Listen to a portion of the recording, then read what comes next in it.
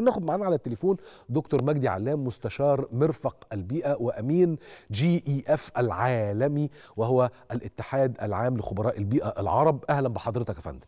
أهلا وسهلا. ازي حضرتك يا دكتور مجدي؟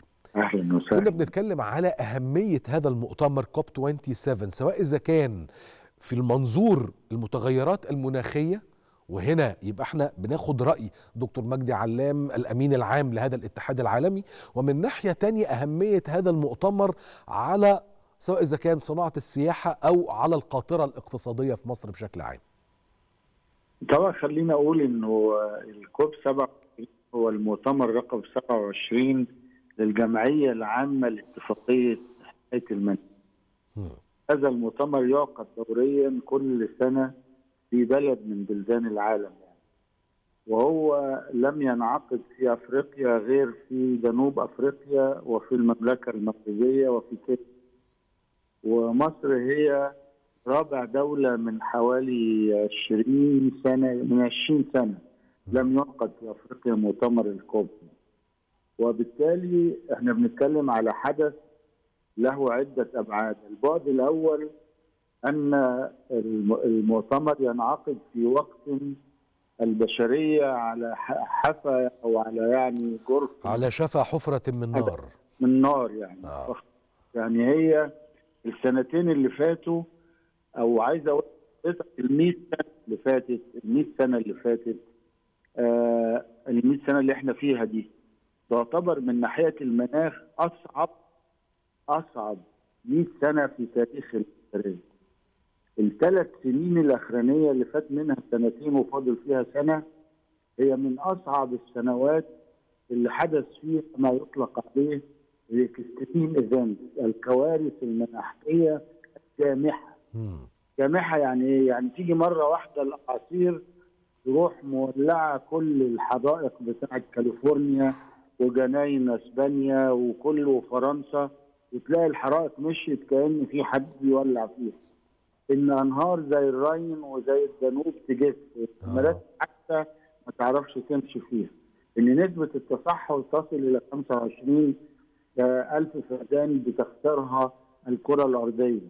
من 40% من غابات العالم آه، خسرناها وبالتالي خسرنا 40% من مصانع الأكسجين بتاعنا. صحيح. راحت البشرية قدام لحظة صريحة.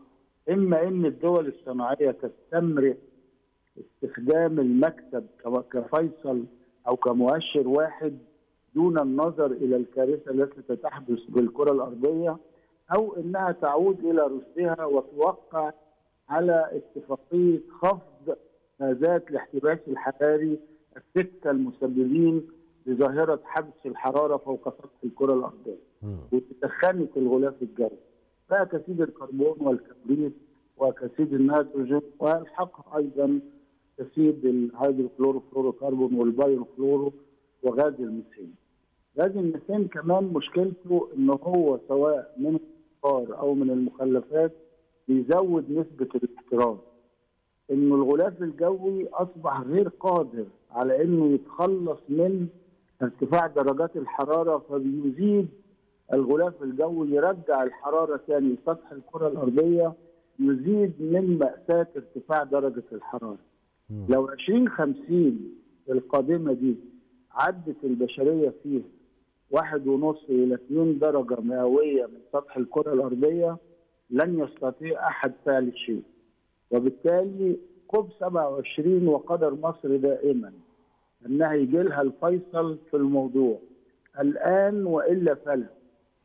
مؤشرات ولأول مرة بقولها كراجل يعني شغال في هذا المجال أكثر من 30 سنة المؤشرات اللي بتقول هل هتوقع الدول الصناعية في مصر على الجملة اللي فشلت ثلاث مرات بسببها الاتفاقيات واخرها في جلاسكو في بريطانيا آه والتخلص من الوقود الأحفوري أو الخفض التدريجي من الوقود الأحفوري.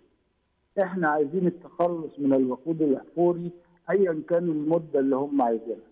وأتصور وأعتقد على يقين أن الجولات المكوكية التي قام بها الرئيس السيسي لعدة دول العالم والتجمعات الإقليمية الكبرى التي حضرها بنفسه سيكون لها دور في موافقة الدول الصناعية العشرين ولأول مرة منذ الكوب في 92 حتى الآن في كوب 27 سيوقعوا في مصر على الجملة اللي بقول لحضرتك عليها دي وهي التخلص التدريجي من الوقود الأحفوري حلو. وليس الخفض التدريجي من الوقود الأحفوري فرق كبير جدا اننا التخلص يعني مش هرجع له تاني.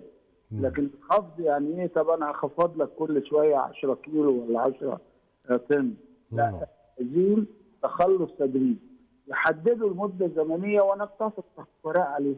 إحنا بنقول إن المدة الزمنية اللي نقدر نلحق فيها الكرة الأرضية ما نعديش 2050 يعني عندنا من الكوب 27 ده لغاية 2050 نكون عملنا الجدول. بتاع الخفض التدريجي لغازات الاحتباس الحراري الستة المسببة للاحتباس الحراري واللي عاملة لنا أزمة في هذا الموضوع. طبعا في عاملين في الموضوع، العامل الأولاني إنك عشان تبطل النظام التقليدي القديم لازم تجيب تكنولوجيا جديدة، يعني هتجيب الطاقة طبعاً. الشمسية بدل الفحم. يعني هتجيب طاقة الرياح بدل البترول.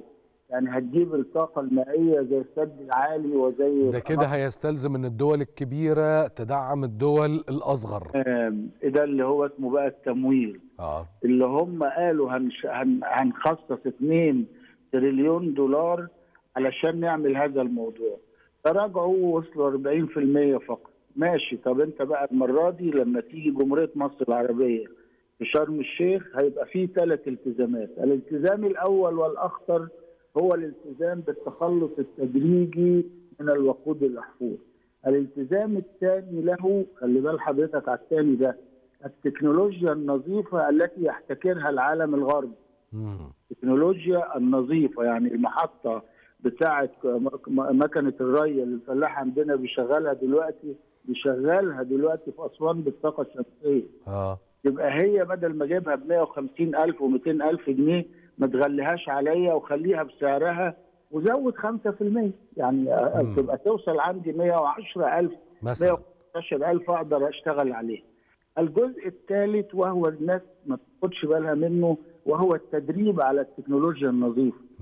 النظيفة أنا كفلاح مصري أو حتى أفريقي ما أعرفش لسه استخدمها فمحتاج مراكز تدريب في كل أنحاء البلد بتاعتي وفي كل صح. بلد أفريقيا تعلمني يعني إيه أدير طاقة وطاقة بايوجاز وأدير طاقة رياح زي ما عندنا في الزعفرانة أو مم. زي الطاقة الشمسية في بنبان في أسوان ده ليها تدريب وليها مراكز عشان كده أتمنى إن المدارس في مصر المدارس الصناعية من دلوقتي تعمل مدارس بتشتغل الولاد الفنيين فيها في الطاقة الشمسية وفي ال biogas وفي طاقة الرياح وفي طاقة حتى ال thermal difference اللي هو فرق درجات الحرارة في المياه ال- البحرية.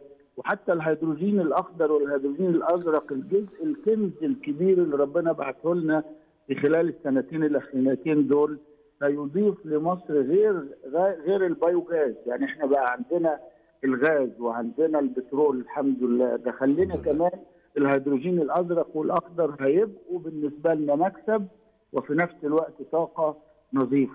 فإذا مصر لديها من الإمكانيات التي تجعلها تعبر من ما يطلق عليها الدول النامية إلى الدول المتقدمة.